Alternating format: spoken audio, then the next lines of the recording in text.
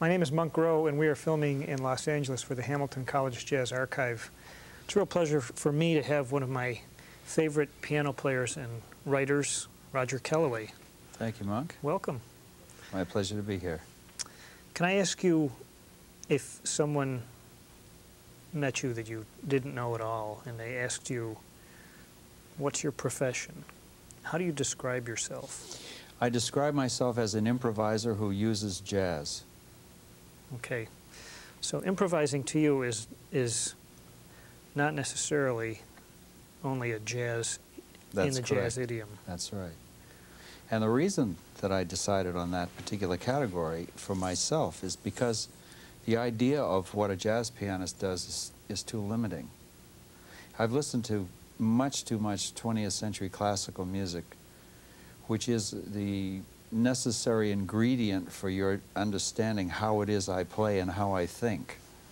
For me to just think of myself as a jazz pianist because there's too much uh, Webern and Alban Berg and Prokofiev and Stravinsky and, and onward to Stockhausen and Messiaen and, and more modern composers that have shaped my thinking about what sound is about.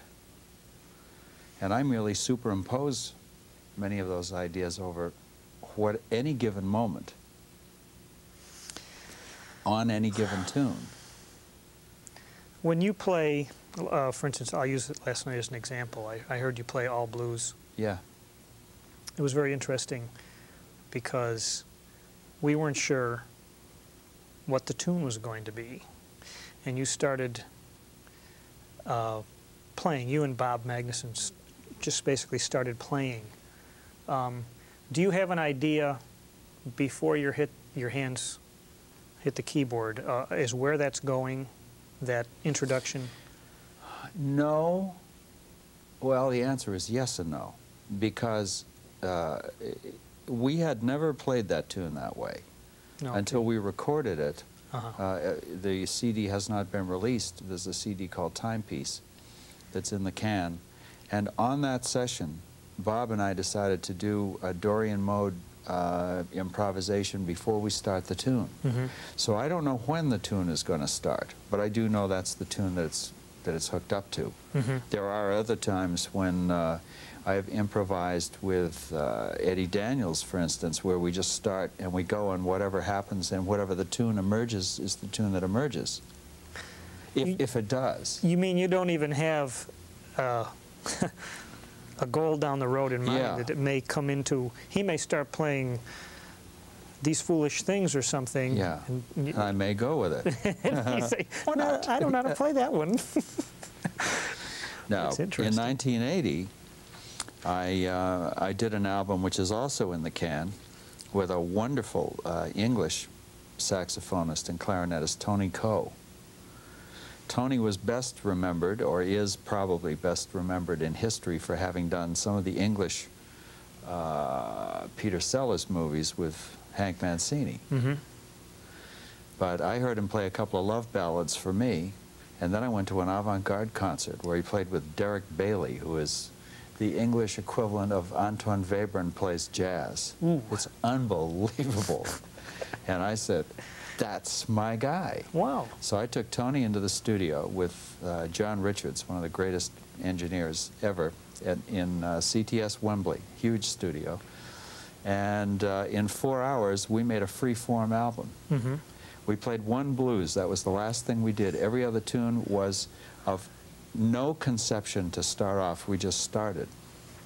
And it was amazing because it's so cohesive. hmm Wow. And it must have given the the blues a, a, a certain amount of I'm not sure what finality or well, when the you finally blues, got you there. could, you could have looked at the you could look at the blues if we were to hear it now, uh, more in line with the way you may know how I play, because you're familiar with the ground base of what I'm superimposing Mhm. my ideas on. When it's just free form, you are, are either going to go on the trip or you're not. Mhm. And if you are not comfortable with abstraction, perhaps you won't go, Mhm. or you'll resist it. Which in some cases is a pity, and in other cases absolutely not a pity, Uh-huh.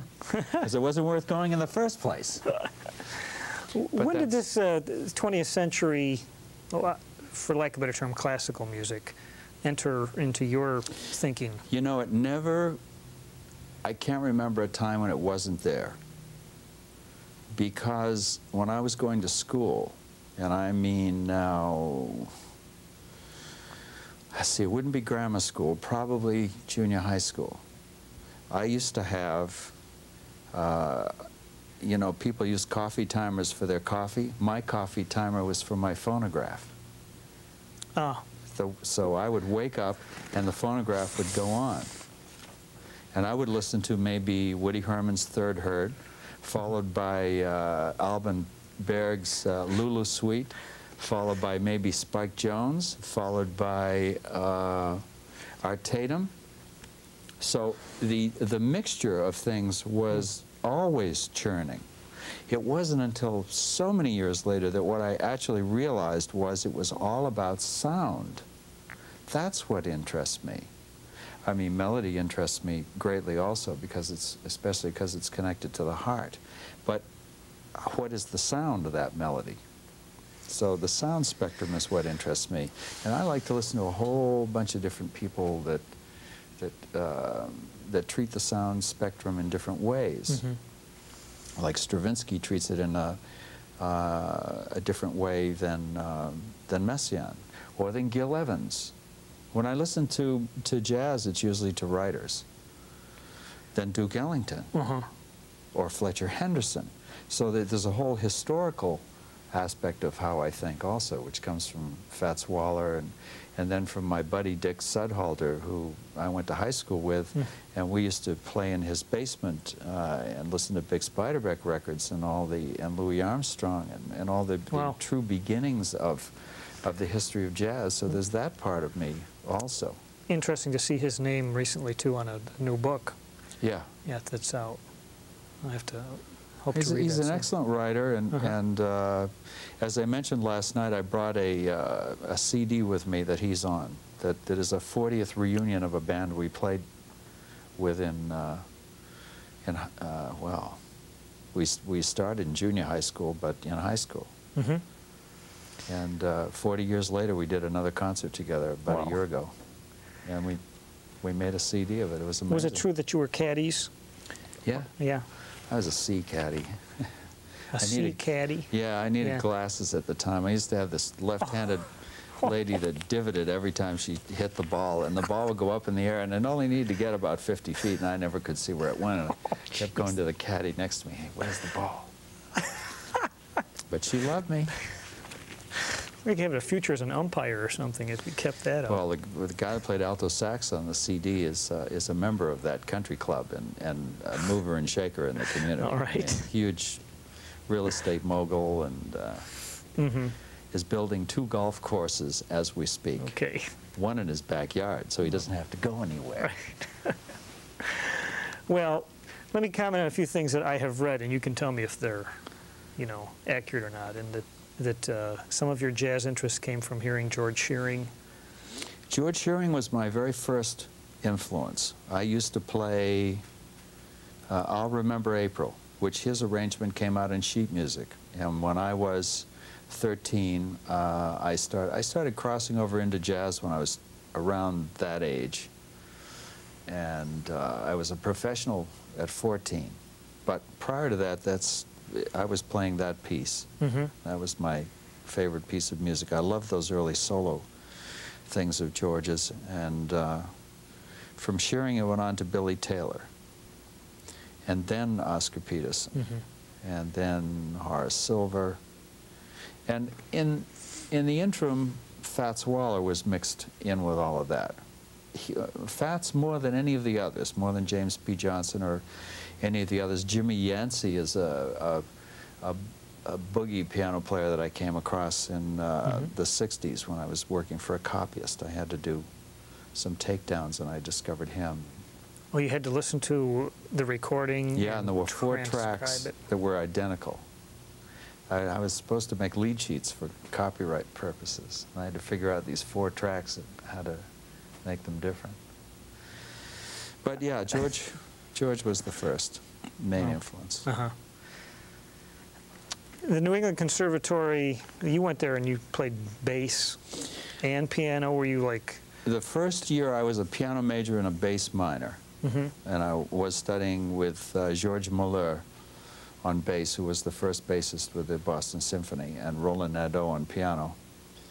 Uh, I had taught myself already how to read uh, bass music and how to play the instrument because in junior high school there were eight pianists that wanted to play, and well, the band director said, how would you like to play one of those? And I said, fine. So I became a bass player. And I did that for 10 years, including amateur symphony work. Mhm. So it probably contributes to my love for strings a lot. I adore strings. Mhm. And it probably led directly to the formation of my group, the Cello Quartet, which Right. is in the 70s. But uh, yeah, I want to talk to talk about that, but down the line just a little bit. You played. Um, your studies in the conservatory were more mostly of a classical nature. Well, they were, except at that time we had a pop department. And a pop No department at that time meant a jazz department. Mm-hmm. Ah, that's an important statement. Yeah. I mean, from a historical standpoint, Sure, well- pop music was jazz or, or jazz tinged. It was much more jazz-oriented. jazz-oriented at, at that time, Uh-huh. just like uh, what's jazz? I mean, it, it's, the, it, it's, the definition of jazz now has gotten so absurd that uh, there are players that are uh, supposedly qualified as jazz players that aren't jazz players at all, and their Mhm. music isn't jazz. Mhm. We don't need to go into that. It's- Yeah, yeah. There are too many of them. But uh, I stayed in the conservatory for two years. Um, the second year, I was a composition major with Judd Cooke and uh, a piano minor. And I kept studying bass, and I had choir. Uh, choral was conducted by a woman named Cookie DeVaron. And I had 11 years of, of choral training which is probably the best year training that uh, anyone can ever have. But I love singing. Mm. We sung with the Boston Symphony and all the major requiems plus Honegger. And the Honegger Christmas Cantata is one of the greatest pieces ever written for me. And in high school, we played uh, Amahl the Night Visitors, and we had a very adventurous high school. Wow. We had two years of theory college credit. And uh, an orchestra under Don March that played all the Brandenburg Concerti, plus Haydn and Mozart symphonies. And we had a marching band and a jazz band. An amazing, Newton High School was, it was like the number three high school in the country Wow. went there. And that's where Sudhalter and I Uh-huh. went to school. And you know, uh, most of this band, Bud Farrington, who was the drummer in our group, who uh, ended up to be a major general, I think it's called, or brigadier general, Oh, Vietnam and yeah. all that. So you went to the guidance counselor at Newton High School, and she says, "What do you want to do?" At that point in, in your musical development, did, did you have a specific idea of how you wanted to make your living in music? I no, I didn't, but I did have a specific idea that it was going to be music. Mhm. That happened when I was 12. Mm-hmm. I didn't know exactly where it was going. Yes, I was daydreaming all the time, waiting for the gigs on weekends, and uh, and by the time I was 16, I was then playing in Boston and playing Dixieland. I was meeting Ruby Braff. I was playing with uh, uh, Dick Wetmore, who is really an unknown to most people, who taught me who Django Reinhardt was. He played cornet, violin, and baritone horn, still does. Prodigy violinist, classically, but played jazz, and we were doing jazz and poetry, playing uh, 12 off of 12-tone rows uh, with Palmer French, who was reading E.E. E. Cummings. Now, and I'm 16, 17 years old, and going, wow, what is this? Wow. And how do I add that Uh-huh. to the mix that I just gave you about 15 minutes ago? You know, Unbelievable. to Berg and, you know, Spike Jones and uh, Spike Bix Jones. and King Oliver. what what uh, Spike Jones? He's a you know a great thing to be influenced by. What what did you like about Spike Jones? I just love the humor. Yeah. great humor. And, and the lesson from that is uh, as I learned later when I wrote some comedic things, if the players think they're funny, the music isn't. It has to be played straight so that the, the humor of the music makes its own comment. Well, you had some pretty good musicians pulling that stuff off, musicians. especially when you watch the live stuff to to do what they were doing Well, and, we- and play that music. We have a harpist. Uh, Goodspeed, I think her name is. She lives in Ojai. She worked with Spike Jones. And she told me the oddest story. They were, they were in some theater, and the harp fell off the stage and hit a trampoline, and it bounced up in the air, and Spike came up to her and said, could you do that every night? you know, There just- you go. It's the insanity of that. And my father-in-law knows, I, one of his good friends, I can't remember if it's Earl Bennett or not, actually also played with, Mhm. with Spike Jones and said it was some of the most outrageous times of, of his life. Mhm. I never met him. Uh, I always appreciated his Yeah, outrageous sense of humor. really. The first compositions of your own, did you start writing in, in high school?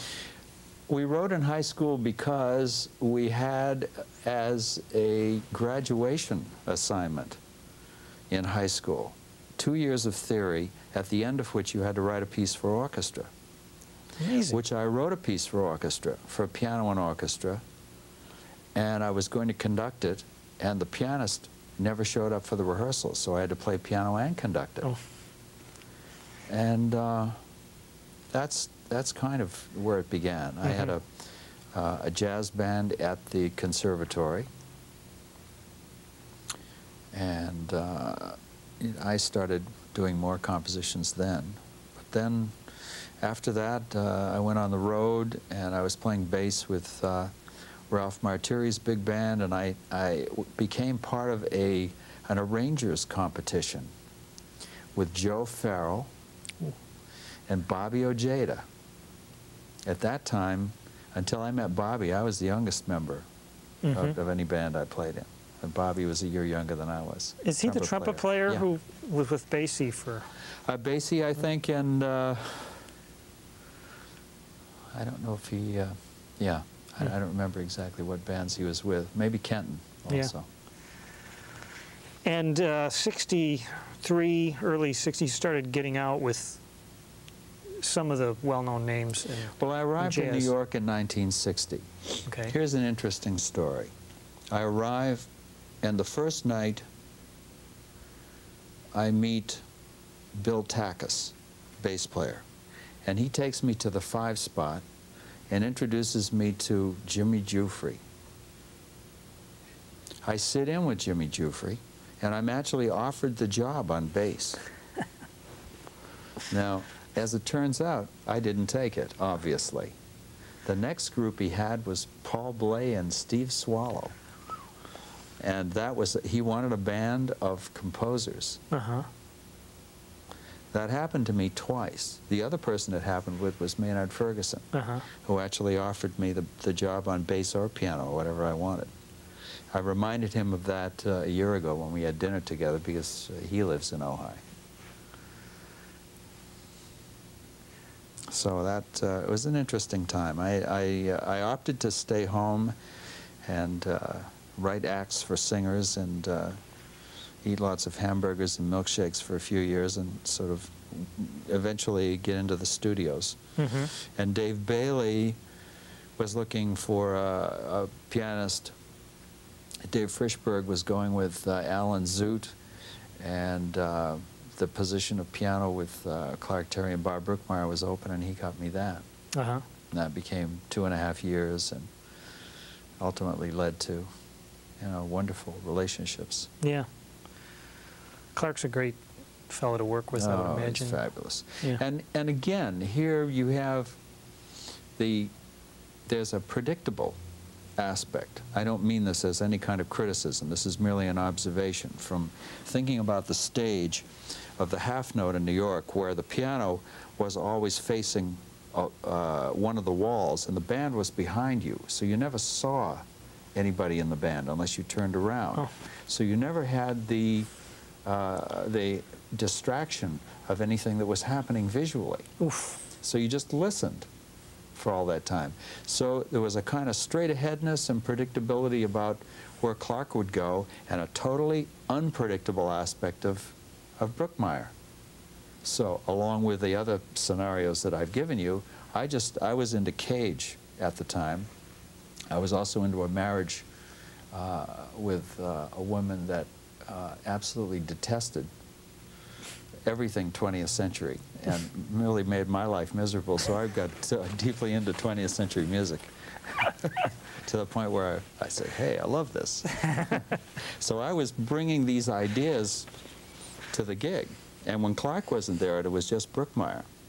Sometimes it would happen.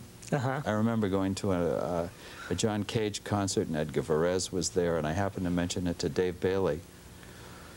And uh, he, all he said was, I hope you left it there. And I said, oh. And Clark No. wasn't going to come on the first set. It was just Brookmeyer, so Oh. I said, all hell broke loose. Oh, I was playing on the piano with drumsticks and just, it, just let it all uh-huh. go wherever it was going to go. I knew Bob would go there. Yeah. Did the audience go with you? I guess so. Yeah. It's a long, it's a while ago. I mean, we, it, it, it never seemed to be so far out that, that it left any kind of musicality. That was always there. Mm-hmm. Well, 1964, uh, you recorded with Ben Webster, Maynard Ferguson, Wes Montgomery, Sonny Rollins, It wasn't, not Maynard, not Maynard? no. Okay, but there's still a. uh, Your name was obviously getting around as a. Yeah, those were the, the years I was doing things with Oliver Nelson.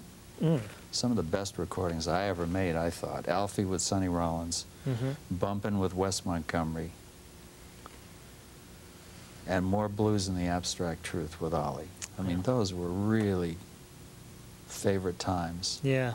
We'd go into the studio and just eat the music alive. We'd be sight reading and playing it like we played it for three weeks. hmm It was amazing, just ferocious. More Blues and the Abstract Truth was uh, designed for three days, and, and we essentially finished in one. And just danced in the studio the rest of the time, except for More Blues and the Abstract Truth, which was so difficult we had to take that one home and bring it back. Uh-huh. Everything else on that album is a first take. I see.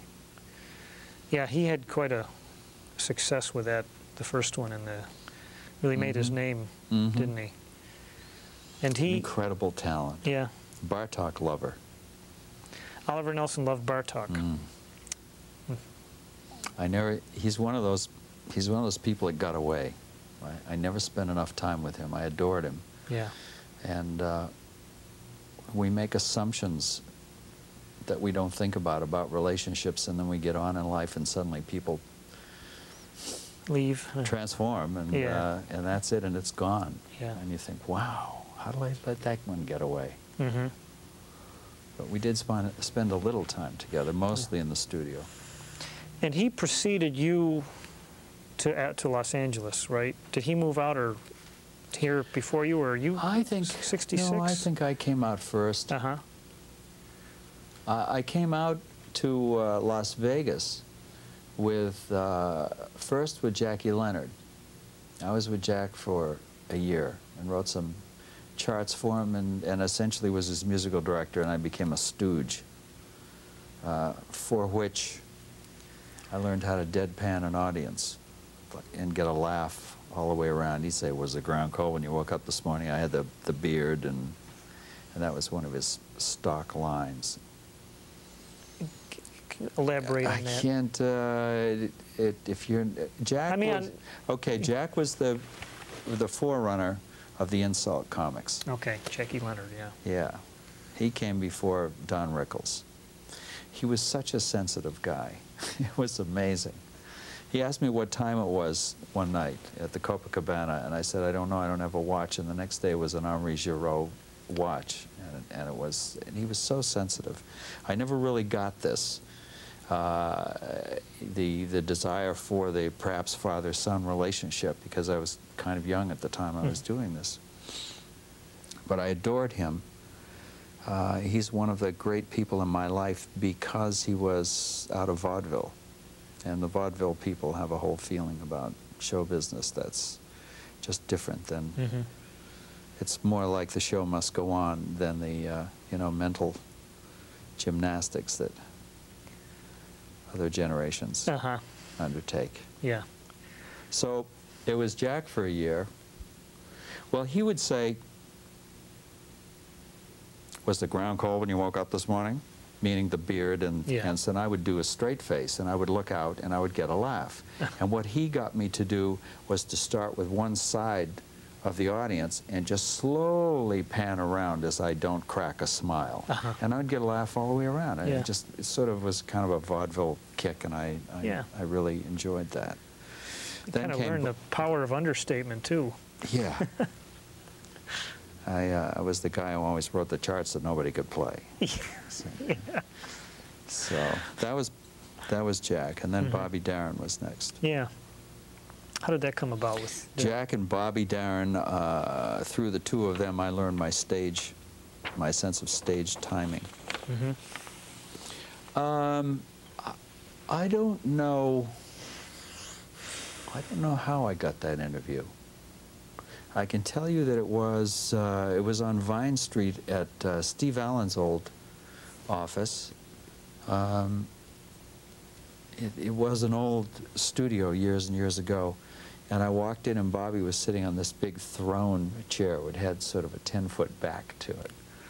I was amused by that. And somewhere during the day, he said, uh, uh, well, I, I guess he he had decided that I was okay and that we'd work together. And he said, uh, by the way, go check the files and uh, look for the shadow of your smile. Do, do, do, do, do, do.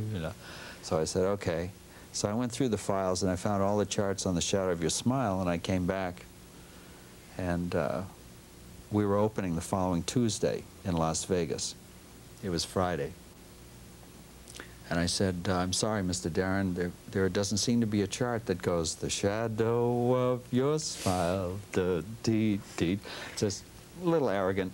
We both had that. He said, his answer to that was, well, there will be by Tuesday, won't there? And that was Uh-huh. the beginning of our relationship. Wow. So I took a lot of dictation because he really knew a lot about what he wanted in charts. And at the end of a year, he gave me Dr. Dolittle. He called me up in Las Vegas and he said basically, Kelloy, get your ass over here. I said, okay, I'll be right there. I came over. He said, uh, in three weeks, we're going to record this music and this is your instrumentation. He gave me the entire instrumentation. I don't know why.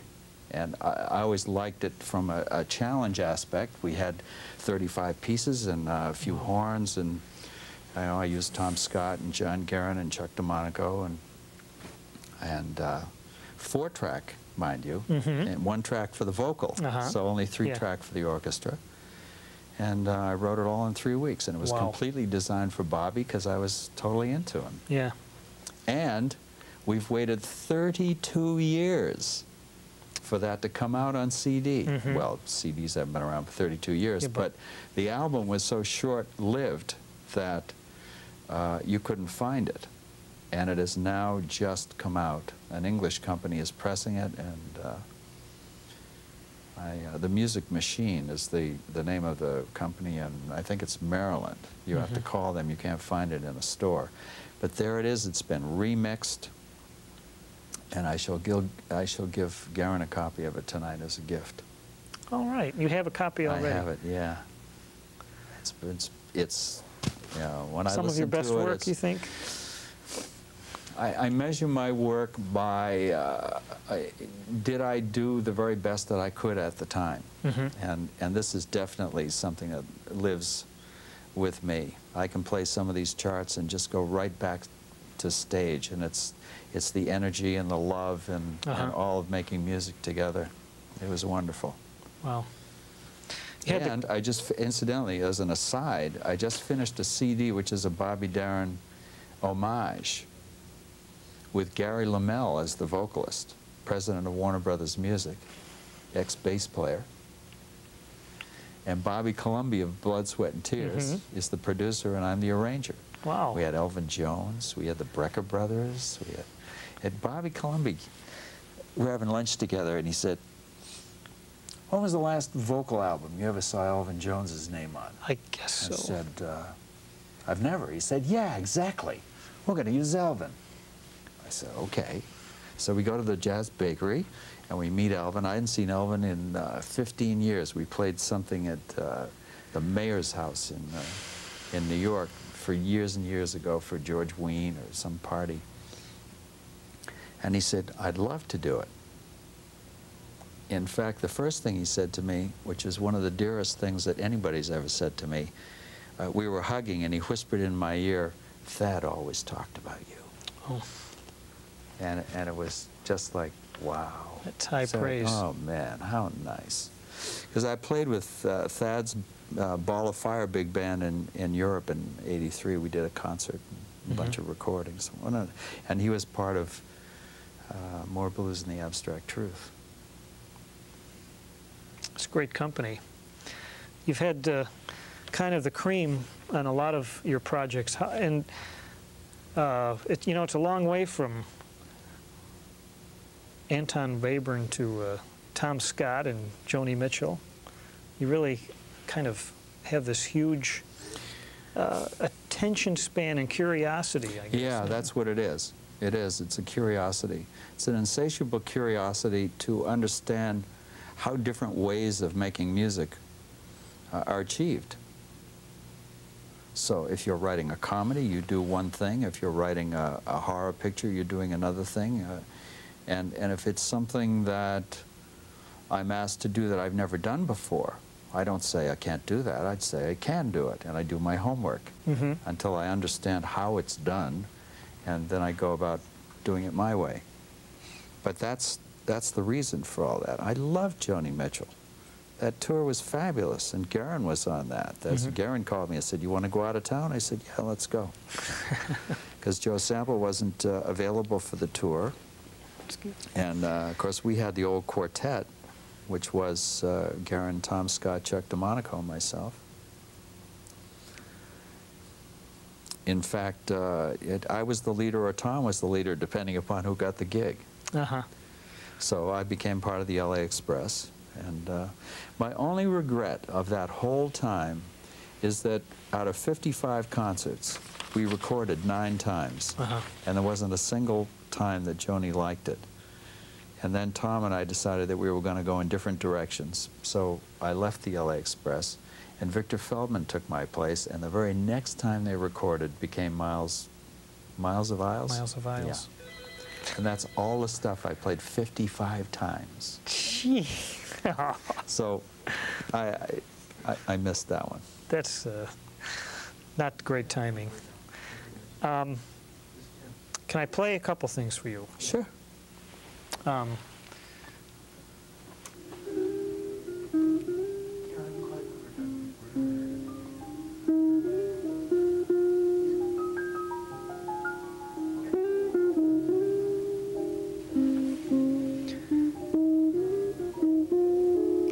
Has an interesting history. that particular tune. Yeah. It's called In the Heat of the Night. Uh-huh. And uh, it, it was first written uh, as a demonstration for someone that uh, wanted a film theme. And I wrote this piece, and this person said that it wasn't a memorable enough melody, Mm-hmm. which to me is a joke because that's definitely who I am. I can, I can write a memorable melody. That's, Yeah. And, and this is, I guess that's uh, my answer to, uh, my new agent would call it deafness. Oh, And that's why I took this guy on. His name is Stephen Kagan. And one of the things he said to me is, look, let's get this understood right up front. it All the sounds like a people- producer right all, away. well, but all the people I'm going to send your music to are deaf. I said, I love you. Plus, he's a tubist and, and he reads music and Uh-huh. he understands what creativity is all about. And I mean, how could I not want to be with somebody like that? Oh, okay. I I mean, it's, it's the ground, the grounding of understanding that that yes, you and I are going to talk about creativity uh, to probably greater lengths than than maybe either of us ever want to, but once it goes beyond us, out to the business and the people that that are in control, we're dealing with people that uh, not only do they not know anything about music, but they think you're over the hill if it, 43 is now considered to be the peak of your life as far as working for someone. So if you're 44, you're probably going to get fired. Well, but the people who are doing this, I, I assume, are probably younger Uh-huh. and they're kind of accountants. How would they possibly understand, I'm about to be 60 this year, Uh-huh. how I could bring all of what it is I know to my craft? And did, it isn't measured. My, uh, my C, the CD timepiece went to Atlantic. The comment came back, one of the most astounding CDs I've ever heard in my life, but I'm not signing anyone over 25. Oh, no. They really said yeah, that? that was the comment. Yeah. That's a sad state of affairs. Well, it's a stupid state of affairs. It doesn't make any sense. Because there's, you know, okay, 25 is a nice, nice age. I played a lot of notes at 25. Mhm. yes. and how many of them would you throw away now? Uh, I don't know. Well, according to the way I play some ballads, probably three quarters of them I throw away. Well, it's just, it's, it's kind of, what I'm saying is it's the nature of the business. Yeah. You get into film composition and you hear scores that are written by people who probably did a lot of music videos. They know a lot about technology, but they haven't a clue about how to write. Mhm. There are many who do. Uh, Goldsmith, Jerry, is probably the, the daddy at this point. Yeah. But theme and, and variations and, and uh, uh, meaningful colored, a thematic piece of material that has a color about it that you can identify with and is developed throughout the film is almost non-existent. It isn't even a pattern that, uh, people know, and the people who are many of the people who are making films apparently are are so uh, brainwashed by the idea of the almighty soundtrack album that they keep putting songs in all the time. hmm Now think about this. We, we come to a point in a film where there's a plot, where, they, where it's gonna, the story's going to move on. And in older times, there was nothing in there except a piece of orchestral music. And we used our imagination as to connecting to the story and how it went forward. Now they give you a song. Why? Because the generations that have grown up from the 60s have been mostly song-oriented people. And the subjectivity of words is what these people are thinking about. They think we need the subjectivity of words to take us from point A to point B.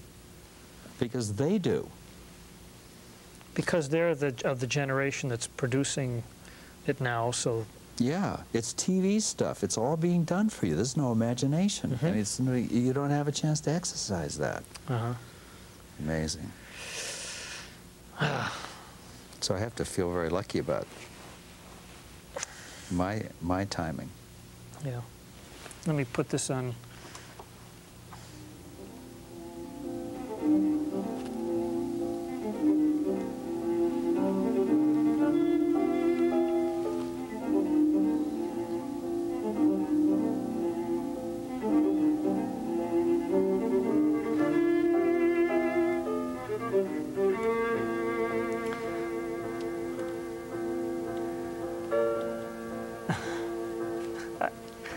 To say that I'm not sure I can put this into words.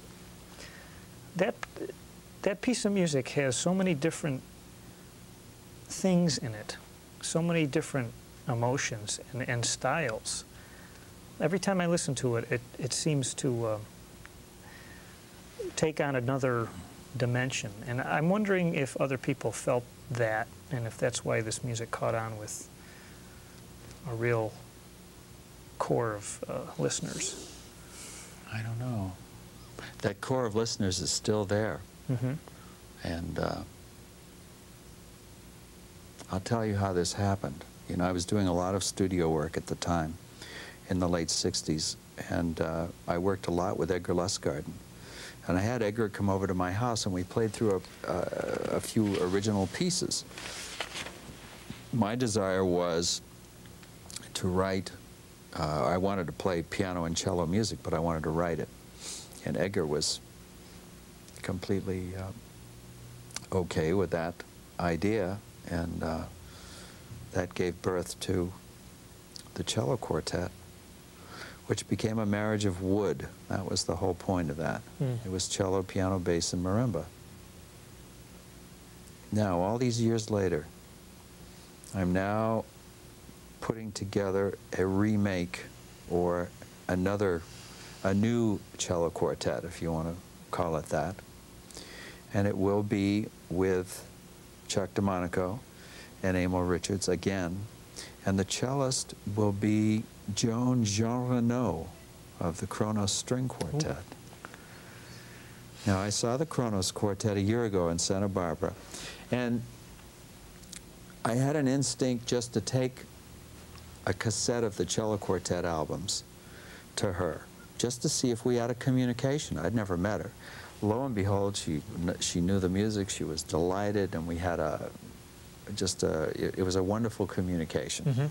Because I would, truthfully, like to write some things for Kronos, especially some jazz things. Yeah. Because I've never been too happy with uh, the kinds of things that are uh, written for them from a jazz standpoint.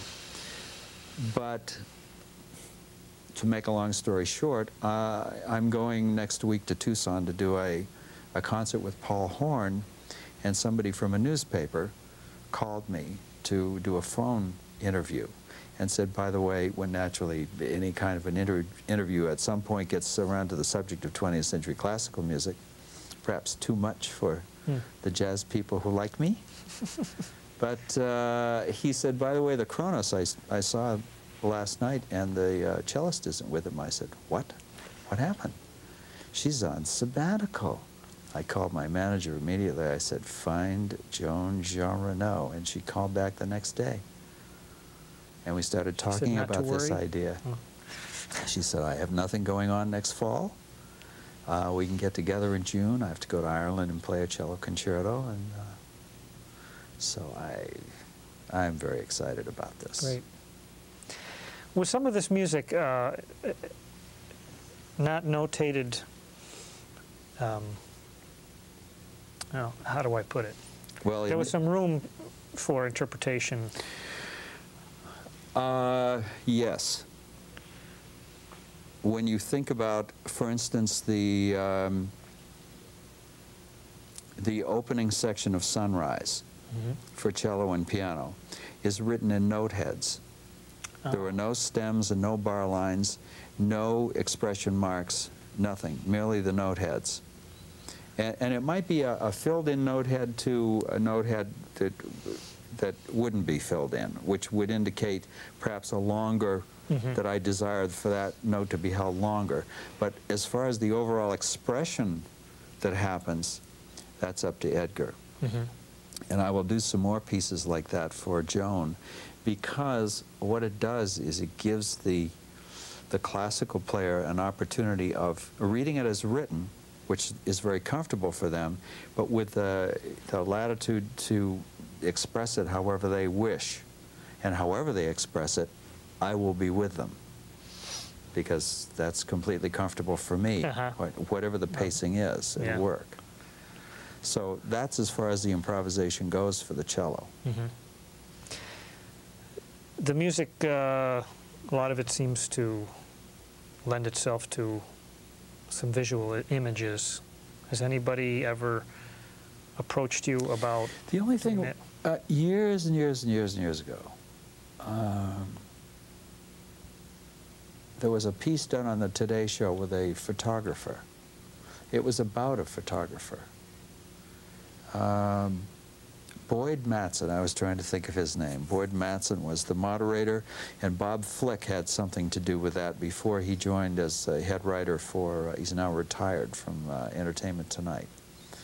So the segment was about a photographer, and they used the cello quartet music, and it worked beautifully. So uh, my wife is in video, and she's thought about it from years, for many years. Um, we'll we'll get into it. Mm-hmm. Great. You've done uh, some fairly well-known films, and uh, do you like writing for film? Yeah. Is- yeah. I haven't done it for a long time. Yeah. I mean, I left it for about 14 years until a year and a half ago when this director called me, Karen Arthur called me and said, I've got this project that's, it's, you should really think about it. So it was called Journey of the Heart. It was about a, an autistic uh, savant from Waltham, Massachusetts, unbelievably. Uh, Oh. uh, uh, he lived, that's where he lives, where I went to junior high school. And uh, starring Cybill Shepherd. So I did this movie for CBS, and uh, I, I really enjoy it. I enjoy it a lot. So I'm putting together some MIDI ideas and gear, and, Mhm. and you know, thinking about getting more into technology. I was just going to, yeah, you make me think of, does your curiosity extend into the uh, available technology these days to supposedly make your life uh, more creative? It doesn't make it more creative, and it doesn't make it faster. You can see where Those I'm are- coming from, Those too. are the two things. I went to the NAMM show a couple of years ago, and I went up to uh, to get a demonstration of uh, Sibelius software, which I've been interested in as a, a writing program. This guy proceeded to show me how to compose with the computer. As I was watching this, I kept saying to him, no, no, no, no, no, I'm not interested in this. I will never be interested in this. And he said, let me show you how to do this. And I kept saying my line, and he kept, this is what he was going to show me, because he's programmed to show me. I said, look, let me just get this idea straight to you. I write with a pencil and paper. That is how I write. I'm an acoustic person. It's, it has to do with the emotion that my body feels from the ideas going on the paper. And, and the, the pencil of it is the, I don't know, the hands in the earth, or however you want to think of it metaphorically. And I will use the MIDI and computer to realize that. I haven't quite got all this through my head yet, even, Mhm. that I don't need to ever go to the studio in a way to do something that's 80 or 90 pieces when I have all of the samples available to me and I just need, you know, I'm learning how to hard drive and uh, record and, and all of those things. But the main ideas go down on paper. I couldn't possibly spend my time clicking a mouse for one note. Phew. When you go, you got a whole chord Yeah. and you can assign it Yeah. to 40 people yeah. in a second. No, no, no, no, no. That's, that's nonsense. But of the idea of perhaps playing an, an idea uh, into a synthesizer and suddenly having it printed out for you, that's great. hmm I think that's, that's a boon. Yeah. And we need to have, uh, I I think, combinations of synthetic music and, and acoustic music is, is going to be okay. I do find it ironic, however, when people talk about so-called electronic music. Because when I think of electronic music, I think about uh, Stockhausen and Dockstader and uh, Luening and Ussachevsky and all the people from the, the 60s that I used to listen to that, Mhm. were- that didn't have any of these instruments, Edgar Right. Varese. And uh, they were just doing tape manipulation. And it was so adventurous and, and imaginative. hmm Uh, Alwin Nikolais, did you ever No, I'm not familiar with him. Alan Nikolai.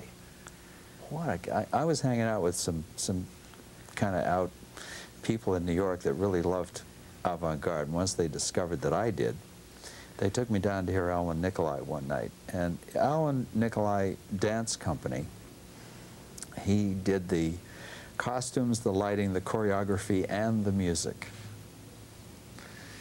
And what was astounding, I, I can remember one piece that he did where he had this whole huge piece of plexiglass that came down behind the dancers, and the dancers had wristbands that were attached to the plexiglass so that every time they made a movement, they stretched the plexiglass into a different shape and the lights would cascade around the building. And I, Wow. what is this?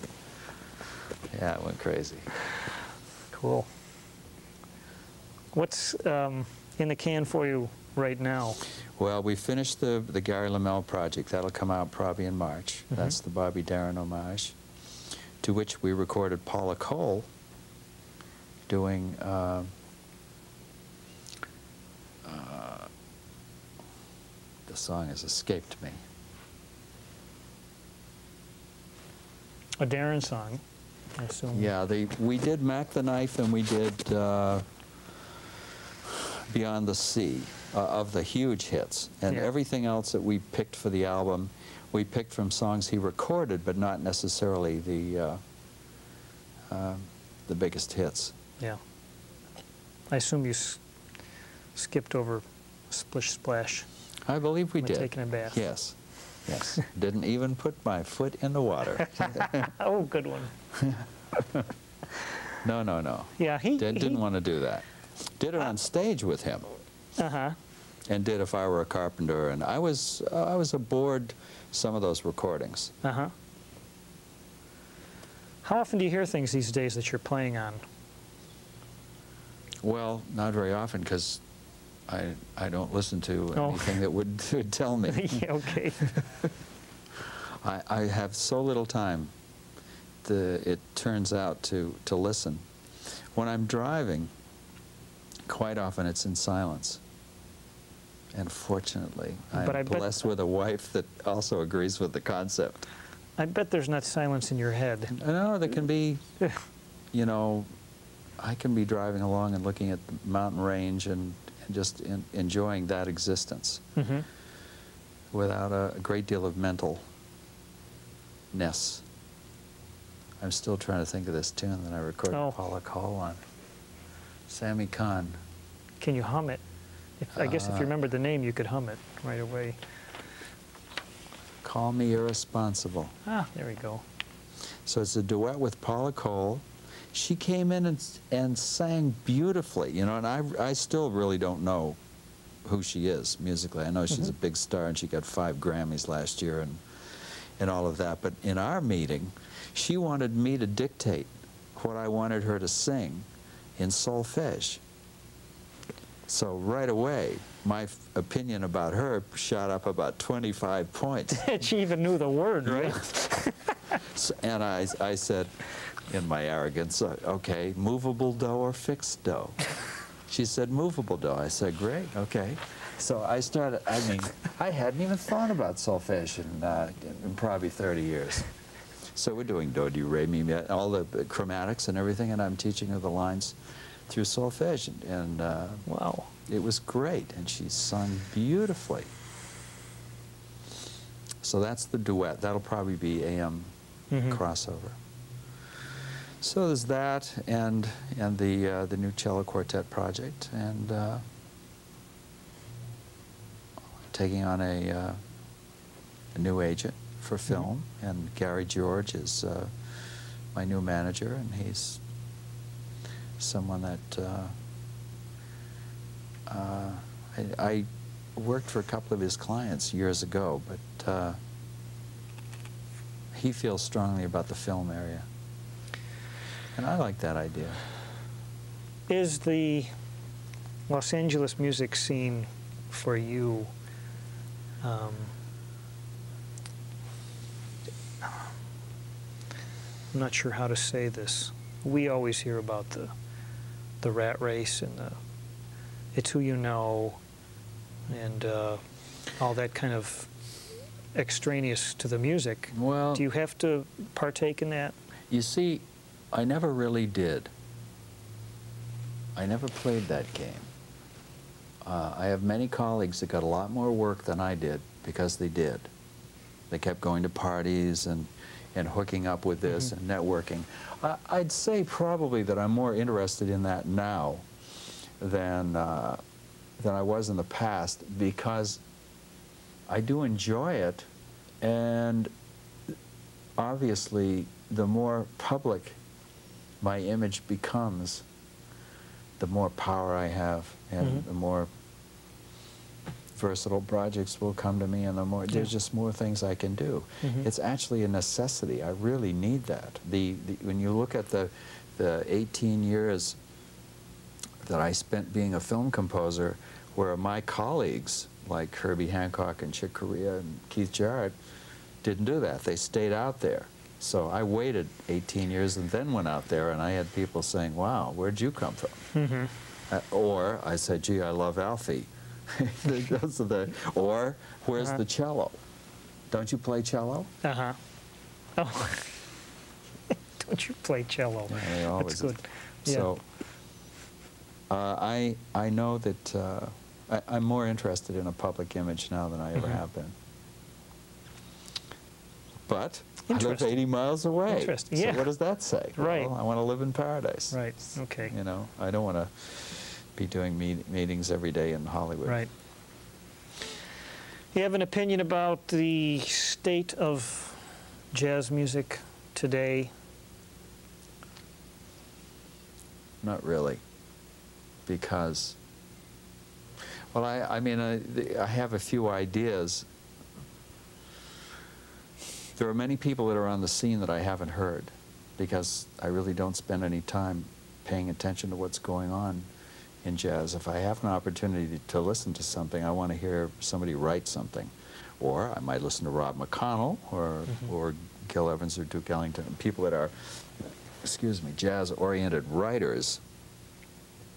But uh, to hear um, uh, an album featuring another wonderful player, Mm-hmm. ah, okay, I, I can. I, uh, most of the time, if it's really that good, I'd, I like to be with it. Yeah. You know, it's fun to, to do that. Yeah. Or you hear somebody and say, gee, I'd like to play with that person. Uh, I suppose I have the same uh, disgruntled opinion that uh, most people my age have about uh, unedited playing. Unedited. Yeah. People that came up, let's say, on the end of Coltrane and never knew the development of Coltrane. Uh-huh. so they, came up with. Uh, They s- yeah, Yeah, they started listening to 'em yeah, right there. Yeah, Uh-huh. and I happened to walk out on that concert because I was bored. Uh-huh. And uh, it's extremely difficult to play a solo for 10 or 15 minutes and, and have it be interesting. And I've only met a handful of players in my whole life that could do it. And uh, I'm not sure that Coltrane is one of them. Mm-hmm. But thinking about my background and having grown up through Dixieland, let's not just take Dixieland. Let's go back to Stravinsky's Serenade in A for piano. It was written for 78s. Ah, there you go. In go. recording, there couldn't be a movement that was over three minutes. Now look at that as a piece of editing. Now you go on to Dixieland, which was also done on 78s. Mm-hmm. So you couldn't do a tune that was beyond three minutes. It wasn't until uh, extended play 45s came in that things started to expand. And Yeah. Then LPs and. But the players that are the most interesting to me are the players that have grown up through some degree of editing, so that they understand the shape of a short solo is, and Mhm. more often than not can play a much longer solo with the same shape or the same understanding of what the shape Mhm. of a solo is about. That way you're, you can keep somebody's interest Mhm. and it isn't just a matter of self-indulgence. Yeah, it's a good statement, and it's interesting when you think about how uh, music reproduction technology has helped to shape the music. The, the limits that were put on it, as you say, really affected the way a person could write, and uh, in some cases, very positively. Mm-hmm. I, ha- I have three minutes to make a statement here. Yeah. Now you can you can uh, take that to film music, and film music will give you uh, how about 8.7 seconds? I like that challenge. Wow. I really do. In many cases, it's a lot easier than 20 minutes. hmm Get in and get out. and fade out before it goes to black. it's just a it's just a technique. Uh-huh. You get to learn you learn what the technique is, and then you find your ultimate freedom within that. hmm Well, I'm looking forward to hearing the, the Bobby Darin project. It's wonderful, really. It's uh, you know we're sitting down at at lunch, and Colomby's looking at me and saying, you know, I'm really thinking about this as extended arrangements. I said, yeah. He said, yeah, some, you know, like five, six, seven minutes. I said, really? With a vocal? He said, yeah, just the vocal is only going to be just like an instrument. I turned Mhm. to Gary LeMel. I said, really? You're, you're up for this? He said, yeah, yeah, everything's great, and love the idea. So I said to, uh, to Bobby Colomby, well, sort of, what, what parameters do you want me to think about? He said, oh, I don't know, somewhere between Gil Evans and Claus Ogerman, I guess. I said, really? Licking my chops? I said, ooh, baby. So we have this opportunity to, and I got Elvin Jones, and I got the Brecker Brothers, and I've got this wonderful cellist, and we can go, you know. You know so we went from uh, Easy Living, which is Michael Brecker and myself and cello. We went from there all the way to Mack the Knife with uh, big band, Mhm. and going through all the lyrics of Mack the Knife, Yeah. including the German lyrics. So there's like Oh. 10 choruses Oh. that start in Germany and then go through Dixieland and then go to modern swing Wow. band and then end up in Germany again. It's just Wow. it's very interesting. I guess they got the right guy to do that. Well, in 1990, I, I did a show in Germany. It was a Kurt Weill show for Uh-huh. his, I think, his 90th birthday for the WDR band in Cologne. And wow, what a joy that was. And I had Caterina Valente uh, singing. Another person from vaudeville, by the way. hmm Amazing talent. Well, Mr. Kellaway, I'm uh, very glad you joined me today Well, I'm very pleased because to be here. uh, I've been looking forward to talking to you since hearing your music for many years, and I knew you'd have some interesting things to say. I got very charged by this. I, I just Good. got up on a roll here. Yeah. It's nice. Well, I hope you have a good uh, session tonight, and, Thanks, Mike. and I'll be listening. So thanks All for your time. Thank you.